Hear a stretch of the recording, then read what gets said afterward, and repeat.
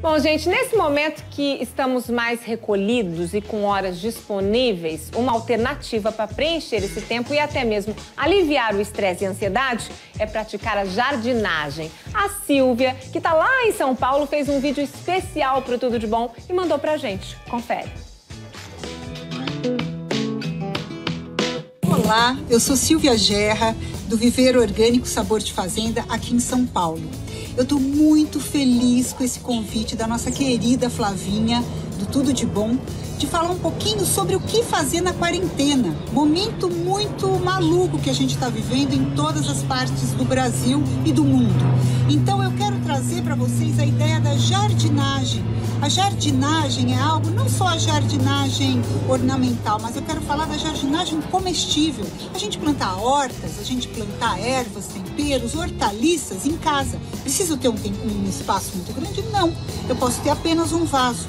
Eu tenho visto com todo mundo com que, enfim, tem, que eu tenho falado, que tem plantado em casa, que tem feito muito bem.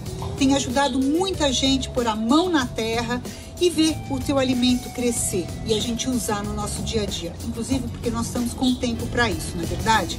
Então, vamos fazer esse plantio?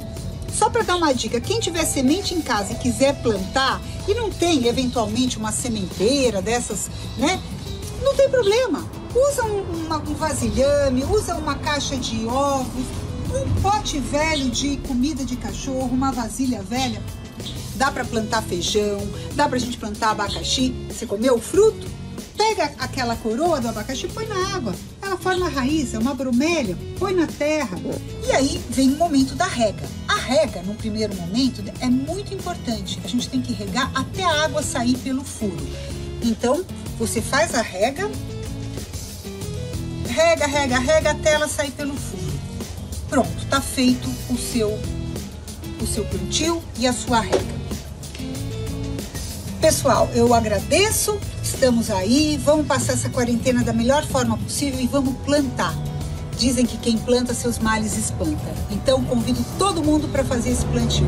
Flavinha, um beijo para você. Marcia Chiade, querida do Recanto das Ervas, um beijão também para você. E se cuidem.